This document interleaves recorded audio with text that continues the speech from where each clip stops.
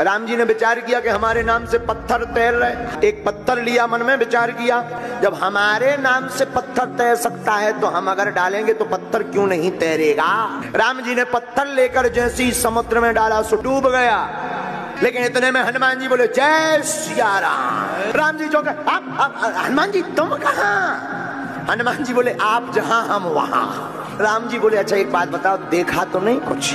हनुमान जी बोले, कुछ छोड़ा ही नहीं। राम जी बोले, ये पत्थर वाला भी देखा बोले, गौर से राम जी बोले, हनुमान जी, सुनो, किसी को बताना नहीं।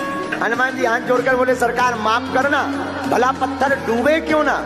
राम जी बोले मतलब? बोले, हम ये महिमा सबको बताएँगे।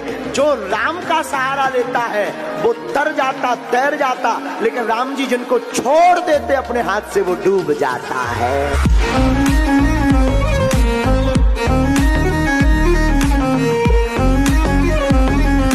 Colors e do